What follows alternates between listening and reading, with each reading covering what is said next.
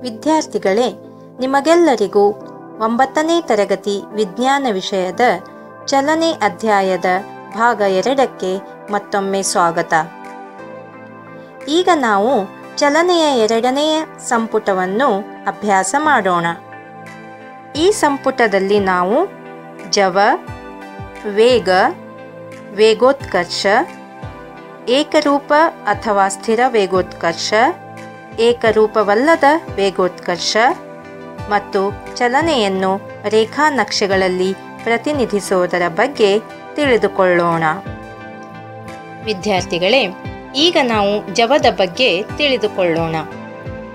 ಒಂದು ಕಾಯವು ಏಕಮಾನ ಕಾಲದಲ್ಲಿ ಚಲಿಸಿದ ದೂರವನ್ನು ಕಂಡುಹಿಡಿಯುವ ಮೂಲಕ ಚಲನೆಯ ದರವನ್ನು ಅಳೆಯಬಹುದು. ಏಕಮಾನ ಕಾಲದಲ್ಲಿ ಚಲಿಸಿದ ದೂರವನ್ನು ನಾವು ಜವ ಎಂದು ಕರೆಯುತ್ತೇವೆ. ಜವದ ಅಂತಾರಾಷ್ಟ್ರೀಯ ಮೂಲಮಾನ ಮೀಟರ್ ಪ್ರತಿ ಸೆಕೆಂಡ್ ಆಗಿದೆ.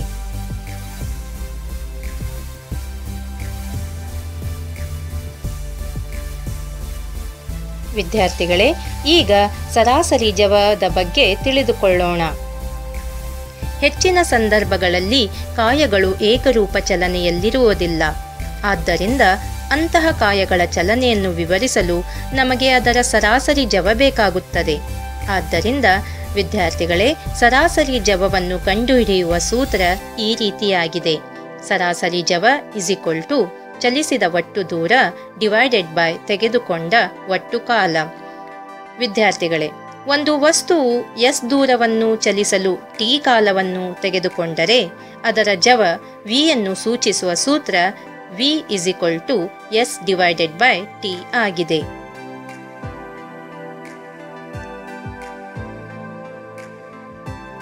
ದಿಕ್ಕಿನೊಂದಿಗೆ ಜವ. ಮಕ್ಕಳೇ, ಒಂದು ನಿರ್ದಿಷ್ಟ ದಿಕ್ಕಿನಲ್ಲಿ ಚಲಿಸಿದ ಜವವನ್ನು ನಾವು ವೇಗ ಎಂದು ಕರೆಯುತ್ತೇವೆ. ಅಥವಾ ಏಕಮಾನ ಕಾಲದಲ್ಲಿ ಸ್ಥಾನಪಲ್ಲಟದಲ್ಲಾಗುವ ಬದಲಾವಣೆಯನ್ನು ವೇಗ ಎನ್ನುವರು. ಒಂದು ಕಾಯವು ಒಂದೇ ನೇರದಲ್ಲಿ ಬೇರೆ ಬೇರೆ ಜವದೊಂದಿಗೆ ಚಲಿಸುತ್ತಿದ್ದರೆ ಅದರ ಚಲನೆಯ ದರದ ಪರಿಣಾಮವನ್ನು ಅದರ ಸರಾಸರಿ ವೇಗದಿಂದ ವ್ಯಕ್ತಪಡಿಸಬಹುದು. ಆದ್ದರಿಂದ ಸರಾಸರಿ ವೇಗ ಇಸ್ ಆರಂಭಿಕ ವೇಗ ಪ್ಲಸ್ ಅಂತಿಮ ವೇಗ ಡಿವೈಡೆಡ್ ಬೈ ಟು ಅದನ್ನು ವಿ ಸರಾಸರಿ is to U plus V divided by two ಎಂದು ಬರೆಯಬಹುದು. ವಿ ಸರಾಸರಿ ಅಂದರೆ ಕಾಯದ ಸರಾಸರಿ ವೇಗ, ಯು ಅಂದರೆ ಆರಂಭಿಕ ವೇಗ, ವಿ ಅಂದರೆ ಅಂತಿಮ ವೇಗ ಆಗಿರುತ್ತದೆ.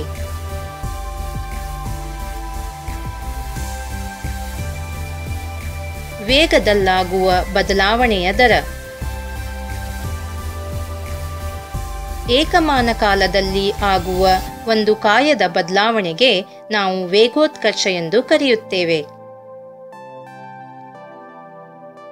ವೇಗೋತ್ಕರ್ಷವನ್ನು ಕಂಡುಹಿಡಿಯುವ ಸೂತ್ರ ಈ ರೀತಿಯಾಗಿದೆ.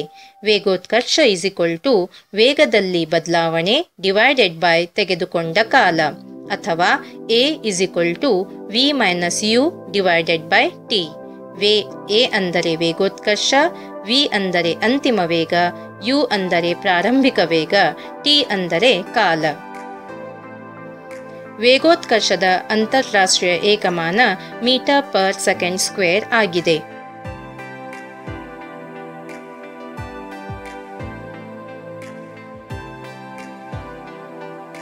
ವಿದ್ಯಾರ್ಥಿಗಳೇ, ಈಗ ನಾವು ಏಕರೂಪ ಅಥವಾ ಸ್ಥಿರ ವೇಗೋತ್ಕರ್ಷದ ಬಗ್ಗೆ ತಿಳಿದುಕೊಳ್ಳೋಣ. ಒಂದು ಕಾಯವು ಸರಳ ರೇಖೆಯಲ್ಲಿ ಚಲಿಸುತ್ತಿದ್ದು, ಅದರ ವೇಗವು ಒಂದು ಸಮನಾದ ಕಾಲಾವಧಿಯಲ್ಲಿ ಸಮವಾಗಿ ಬದಲಾಗುತ್ತಿದ್ದರೆ ಅಂದರೆ ಹೆಚ್ಚುತ್ತಿದ್ದರೆ ಅಥವಾ ಕಡಿಮೆಯಾಗುತ್ತಿದ್ದರೆ ಅದನ್ನು ಏಕರೂಪ ವೇಗೋತ್ಕರ್ಷ ಎನ್ನುವರು. ಉದಾಹರಣೆಗೆ, ಸ್ವತಂತ್ರವಾಗಿ ಕೆಳಗೆ ಬೀಳುತ್ತಿರುವ ಕಾಯದ ಚಲನೆ. ಅದೇ ರೀತಿಯಾಗಿ, ಒಂದು ಕಾಯದ ವೇಗವು ಸಮನಾದ ಕಾಲಾವಧಿಯಲ್ಲಿ ಅಸಮವಾಗಿ ಬದಲಾಗುತ್ತಿದ್ದರೆ ಅದನ್ನು ನಾವು ಏಕರೂಪವಲ್ಲದ ವೇಗೋತ್ಕರ್ಷ ಎನ್ನುವರು. ಅಥವಾ, ಒಂದು ಕಾಯದ ವೇಗದ ಬದಲಾವಣೆಯ ದರವು ಏಕರೂಪವಾಗಿಲ್ಲದಿದ್ದರೆ ಅದನ್ನು ನಾವು ಏಕರೂಪವಲ್ಲದ ವೇಗೋತ್ಕರ್ಷ ಎಂದು ಕರೆಯುತ್ತೇವೆ. ಉದಾಹರಣೆಗೆ, ಒಂದು ಮೋಟಾರು ವಾಹನವು ಸರಳ ರೇಖೆಯಲ್ಲಿ ಚಲಿಸುತ್ತಿದ್ದು, ಸಮವಾದ ಕಾಲಾವಧಿಯಲ್ಲಿ ಅದರ ಜವವು ಅಸಮವಾಗಿ ಬದಲಾಗುತ್ತಿದ್ದರೆ ಆ ವಾಹನವು ಏಕರೂಪವಲ್ಲದ ವೇಗೋತ್ಕರ್ಷದಿಂದ ಚಲಿಸುತ್ತಿದೆ ಎಂದು ಹೇಳಬಹುದು. ವಿದ್ಯಾರ್ಥಿಗಳೇ, ಈಗ ನಾವು ಚಲನೆಯನ್ನು ರೇಖಾ ನಕ್ಷೆಗಳಲ್ಲಿ ಪ್ರತಿನಿಧಿಸುವುದರ ಬಗ್ಗೆ ತಿಳಿದುಕೊಳ್ಳೋಣ. ರೇಖಾ ನಕ್ಷೆಯು ಎರಡು ಚರಾಕ್ಷರಗಳನ್ನು ಹೊಂದಿರುವ ಸಮೀಕರಣಗಳನ್ನು ಬಿಡಿಸಲು ಸಹಾಯವಾಗುವ ನಕ್ಷೆಯಾಗಿರುತ್ತದೆ. ರೇಖಾ ನಕ್ಷೆಗಳು ಎರಡು ಪರಿಮಾಣದ ಮೇಲೆ ಅವಲಂಬಿಸಿರುತ್ತವೆ. ಮೊದಲನೆಯದಾಗಿ, ದೂರ ಅಥವಾ ವೇಗದಂತಹ ಅವಲಂಬಿತ ಭೌತ ಪರಿಮಾಣ ಎರಡನೆಯದಾಗಿ ಕಾಲದಂತಹ ಸ್ವತಂತ್ರ ಪರಿಮಾಣ.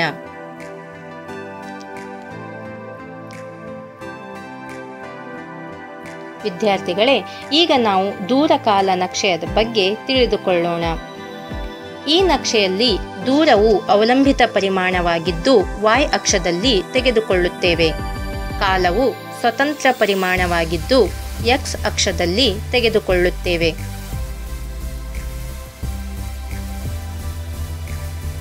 ಈಗ ವಸ್ತುವು ನಿಶ್ಚಲ ಸ್ಥಿತಿಯಲ್ಲಿರುವಾಗ ವಸ್ತುಗಳ ದೂರಕಾಲ ನಕ್ಷೆಯ ಅಂಶಗಳ ಬಗ್ಗೆ ತಿಳಿದುಕೊಳ್ಳೋಣ.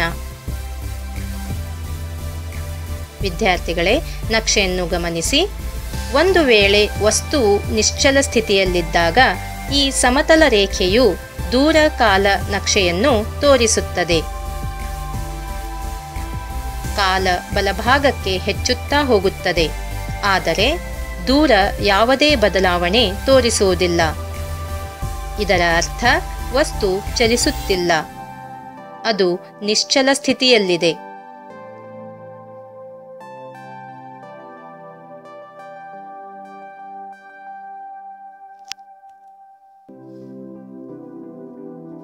ವಿದ್ಯಾರ್ಥಿಗಳೇ, ಈಗ ನಾವು ವಸ್ತುವು ಏಕರೂಪ ಜವದೊಂದಿಗೆ ಚಲಿಸುತ್ತಿರುವಾಗ ದೂರ ಕಾಲ ನಕ್ಷೆಯ ಅಂಶಗಳ ಬಗ್ಗೆ ತಿಳಿದುಕೊಳ್ಳೋಣ.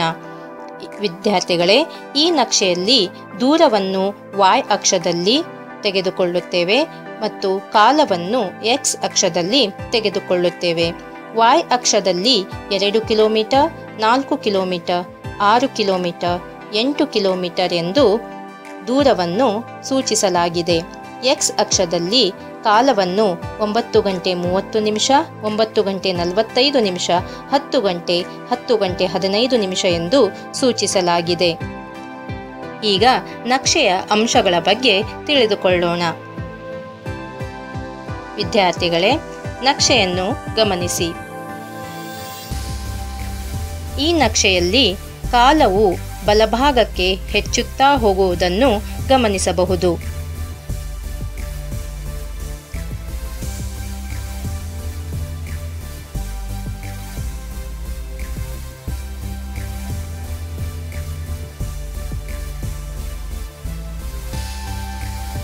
ದೂರವು ಕಾಲದೊಂದಿಗೆ ನಿರಂತರವಾಗಿ ಹೆಚ್ಚುತ್ತದೆ. ವಸ್ತುವು ಚಲಿಸಿದ ದೂರವು ಅದು ತೆಗೆದುಕೊಂಡ ಕಾಲದೊಡನೆ ನೇರ ಅನುಪಾತದಲ್ಲಿರುತ್ತವೆ. ರೇಖಾ ನಕ್ಷೆಯ ಬಿಂದುಗಳನ್ನು ಸೇರಿಸಿದಾಗ ನಕ್ಷೆಯು ಒಂದು ಸರಳ ರೇಖೆಯಾಗಿರುತ್ತದೆ. ಆದ್ದರಿಂದ ಏಕರೂಪ ಜವಕ್ಕೆ ಚಲಿಸಿದ ದೂರ ಮತ್ತು ಕಾಲ ನಕ್ಷೆಯು ಒಂದು ಸರಳ ರೇಖೆಯಾಗಿದೆ. ವಿದ್ಯಾರ್ಥಿಗಳೇ, ಈ ಕೊಟ್ಟಿರುವ ನಕ್ಷೆ ಏಕರೀತಿ ಜವ ಹೊಂದಿರುವ ವಸ್ತುವಿನ ದೂರ ಕಾಲ ನಕ್ಷೆಯನ್ನು ಪ್ರತಿನಿಧಿಸುತ್ತದೆ.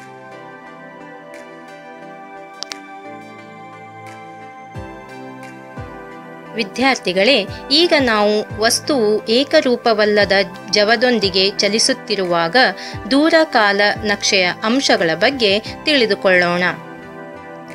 ಅನೇಕ ಬಾರಿ ವೇಗವನ್ನು ನಿಧಾನಗೊಳಿಸಿದಾಗ ಚಲನೆಯು ಏಕರೂಪವಾಗಿರುವುದಿಲ್ಲ.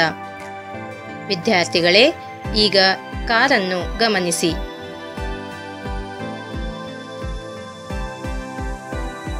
ಮಕ್ಕಳೇ, ಈ ಕಾರು ಏಕರೂಪದ ಚಲನೆಯನ್ನು ಹೊಂದಿದೆಯೇ?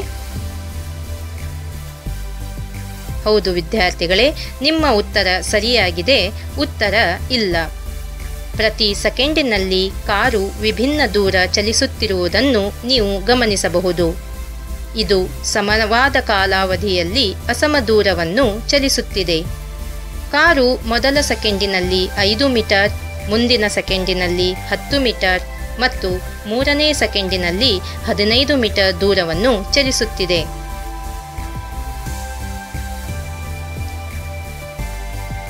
ಮೋಟಾರು ವಾಹನ ಏಕರೂಪವಲ್ಲದ ಜವದೊಂದಿಗೆ ಚಲಿಸಿದಾಗ ದೂರ ಕಾಲ ನಕ್ಷೆಯ ಅಂಶಗಳು. ವಿದ್ಯಾರ್ಥಿಗಳೇ, ಈ ನಕ್ಷೆಯನ್ನು ಗಮನಿಸಿ.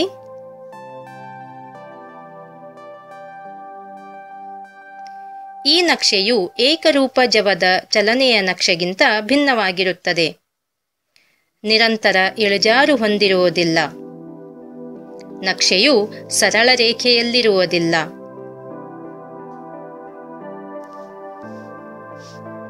ಮಕ್ಕಳೇ, ಈ ಪ್ರಶ್ನೆಗೆ ಯೋಚಿಸಿ ಉತ್ತರಿಸಿ. ಪ್ರಶ್ನೆ ಒಂದು, ಜವ ಎಂದರೇನು?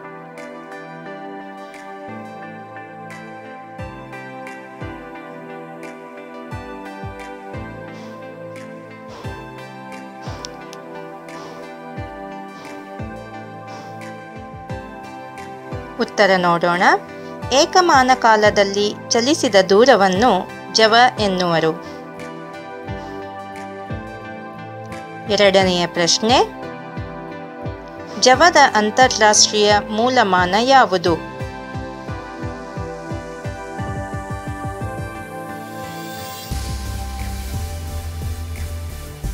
ಉತ್ತರ ಹೀಗಿದೆ, ಜವದ ಅಂತಾರಾಷ್ಟ್ರೀಯ ಮೂಲಮಾನ ಮೀಟರ್ ಪ್ರತಿ ಸೆಕೆಂಡ್.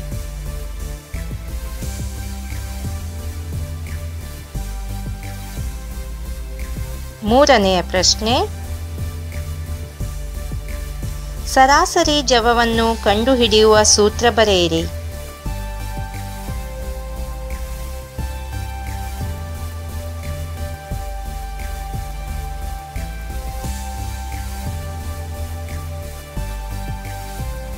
ಉತ್ತರ, ಸರಾಸರಿ ಜವ ಇಸ್ ಈಕ್ವಲ್ ಟು ಚಲಿಸಿದ ಒಟ್ಟು ದೂರ ಡಿವೈಡೆಡ್ ಬೈ ತೆಗೆದುಕೊಂಡ ಒಟ್ಟು ಕಾಲ ಅಥವಾ V is equal to S divided by T ಎಂದು ಬರೆಯಬಹುದು.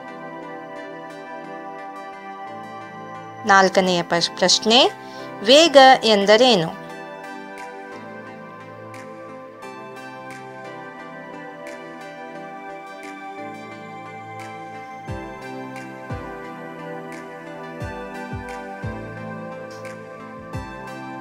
ಉತ್ತರ ಹೀಗಿದೆ. ಏಕಮಾನ ಕಾಲದಲ್ಲಿ ಸ್ಥಾನಪಲ್ಲಟದಲ್ಲಾಗುವ ಬದಲಾವಣೆಯನ್ನು ವೇಗ ಎನ್ನುವರು.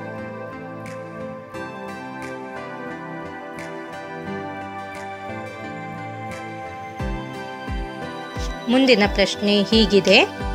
ಸರಾಸರಿ ವೇಗವನ್ನು ಕಂಡುಹಿಡಿಯುವ ಸೂತ್ರ ಬರೆಯಿರಿ.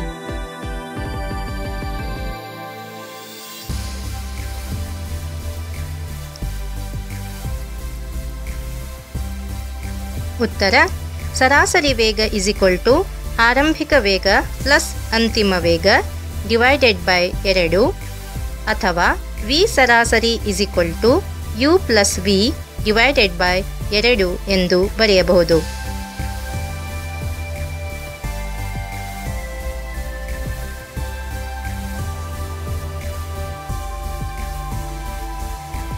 ಮಕ್ಕಳೇ ಮುಂದಿನ ಪ್ರಶ್ನೆ ವೇಗೋತ್ಕರ್ಷದ ಅಂತಾರಾಷ್ಟ್ರೀಯ ಮೂಲಮಾನ ಯಾವುದು?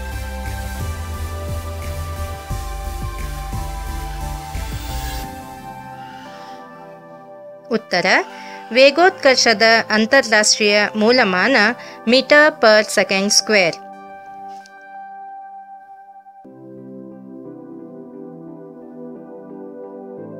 ಮುಂದಿನ ಪ್ರಶ್ನೆ ವಸ್ತುವು ನಿಶ್ಚಲ ಸ್ಥಿತಿಯಲ್ಲಿರುವಾಗ ವಸ್ತುಗಳ ದೂರಕಾಲ ನಕ್ಷೆಗಳ ಅಂಶಗಳನ್ನು ತಿಳಿಸಿ.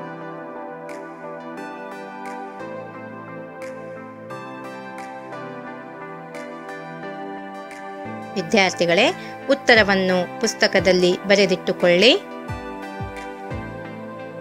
ಅಂಶಗಳು ಈ ರೀತಿಯಾಗಿವೆ.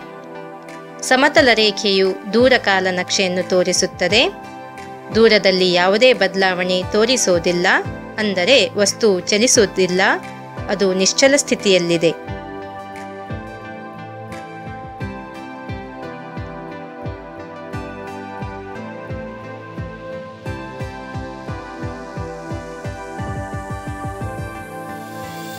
ಮುಂದಿನ ಪ್ರಶ್ನೆ, ವಸ್ತುವು ಏಕರೂಪ ಜವದೊಂದಿಗೆ ಚಲಿಸುತ್ತಿರುವಾಗ ದೂರಕಾಲ ನಕ್ಷೆ ಅಂಶಗಳನ್ನು ತಿಳಿಸಿ.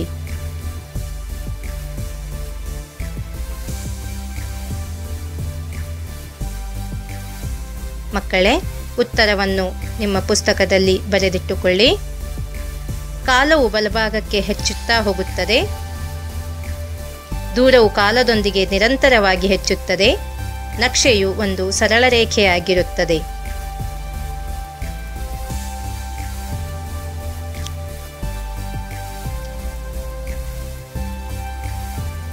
ಮಕ್ಕಳೇ ಈ ಸಂಪುಟದಲ್ಲಿ ನೀವು ಕಲಿತ ಅಂಶಗಳನ್ನು ಮತ್ತೊಮ್ಮೆ ಮನದಟ್ಟು ಮಾಡಿಕೊಳ್ಳಿ.